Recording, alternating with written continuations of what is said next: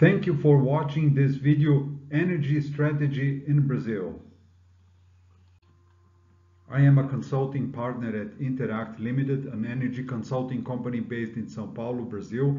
Have already contracted more than $600 million in power contracts for industrial, commercial, and institutional energy users. Was awarded in Brazil and in the US. Very experienced with power projects and energy efficiency projects. I'm a speaker and an author in Brazil and in the US. And prior to Interact, I was the CEO for Eltec, a major uh, electric power connector uh, manufacturing company, where I began my career as an electrical engineer in 1976. Let's take my own home as an example. My wife and I live in the São Paulo city area, and when we moved in, we had all the typical electrical appliances and we installed an electric boiler to uh, heat the water. What was our problem? Actually, soon we discovered that we were facing about 200 hours per year of unplanned power interruptions. And so this caused major problems at home. The first one, because our home offices would not work properly. The second point is with respect to entertainment. Of course, we were not in a position to watch TV and films when there was a power outage. And most importantly, no internet access. With power interruptions, spoiled food became a problem and a cost. And the good side effect that we used to have many romantic dinners. What were then our energy sources? Of course, we have the sun, we have power from the local utility company, which is charged at roughly $180 per megawatt hour or almost 2 cents per kilowatt hour and LNG is in a rough number $120 per megawatt hour. We decided to install an LNG heater. So right now we have both heaters, one electric heater and one LNG. So we are able to decide what heater we would like to operate in every specific month given the ongoing costs for LNG and for electric power from the local utility company. We were facing 200 hours per year of unplanned interruptions. Sometimes we face about 24 to 40 hours interruptions and frequently it's about three to five hours. So we um, came up with a gasoline genset and the variable cost of this genset is about $600 per year if we are considering 200 hours per year of uh, power production. And this equates to something like $3 per each kilowatt hour delivered by this genset. Conceptually speaking, it's about a decision-making process. What we did is shown here in this slide. First, we were able to collect energy-related information. Then we identified what we call the boundary conditions. So what were our most important demands, so to speak. Then we crafted a number of options to face our challenges and then we went to the market to check for prices and then we decided what to do. This slide shows the four most important options we came up with and uh, here it goes. The, the first option was using the sun because it's free potentially.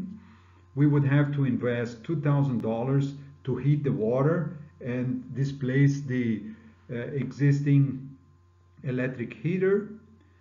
The second option was using a PV package that would produce all the electric power that we were consuming at home during the day for $11,000 installed. The third option was um, buying a gasoline genset and the installed cost was about $1,400. And the last option was um, considering uh, LNG um, water heater for $1,300 installed cost again. What was the reasoning? The sun options were basically to reduce the utility power bill. The genset to avoid losses. We, we already discussed about spoiled food, about our home offices. And so this would be a very important factor for us. And the LNG heater was very interesting since the very beginning because uh, not only we were able to somehow arbitrate LNG and power costs, but also, as our study showed, we were able to reduce the size of the gasoline genset because when we were facing an interruption of the power supply from the local utility company, if we had the LNG heater, we would not have to produce power by the genset to uh, uh, connect the electric heater. So the operational and maintenance costs were also studied and the sun options were basically negligible. The gen, the gen set, of course, is a lot higher, $600 per year because of the fuel and the maintenance. And the LNG heater uh, demands something like $60 per year for maintenance. So when we studied the simple payback for each of the options, uh, we finally arrived at the, uh, the following conclusions. The um, solar water here was uh, 13 years, the PV panel 8 years, and the genset a few months as well as the LNG because the cost, the avoided cost by the genset was very important. And here it should be pointed out that the PV um, solution was not able to handle outages during the night, of course. So back then we decided to go for the genset and for the LNG water heater.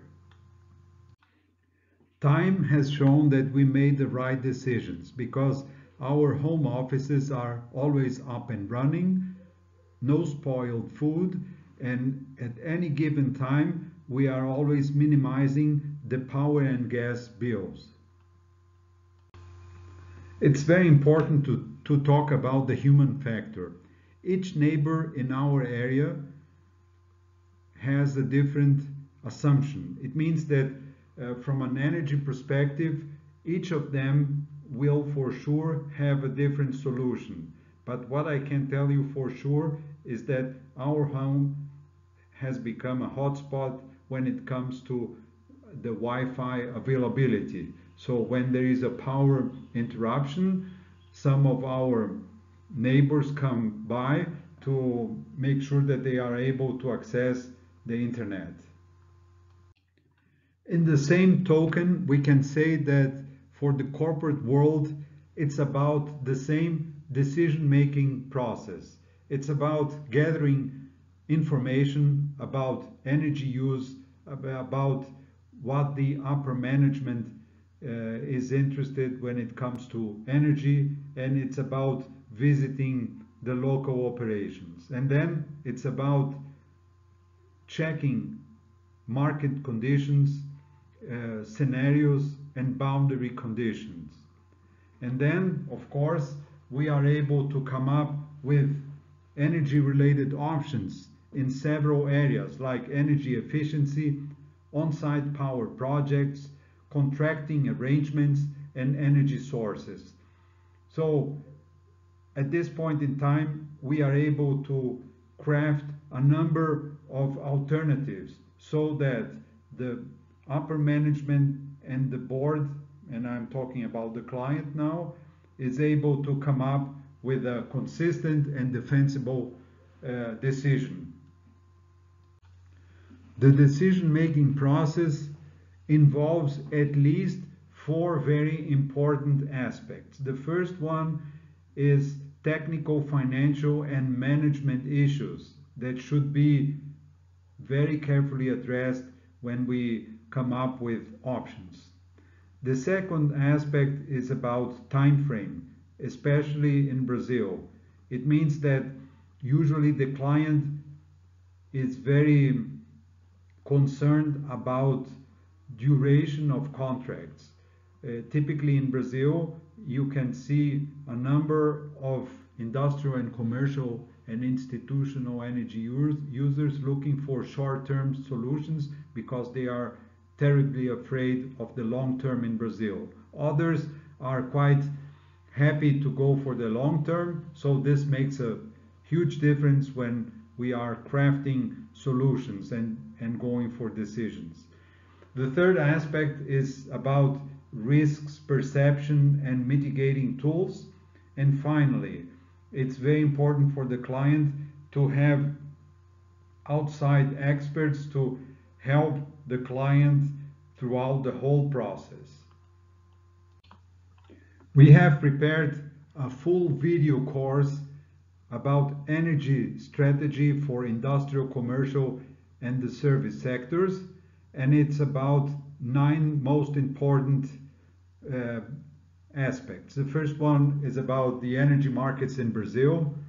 The second is about technical, financial, and management issues, always energy related, current and future energy use from the client's perspective, and how this impacts in the decisions that the client will take right now, energy efficiency, energy sources that might be considered, on-site power projects, and by that I mean uh, generation, cogeneration, and high voltage access, deregulated options, conventional and structured options, internal rate of return calculation considering the Brazilian conditions, how to request a proposal before the market, how to go for the decision-making process, and how to negotiate the contracts uh, for the selected options.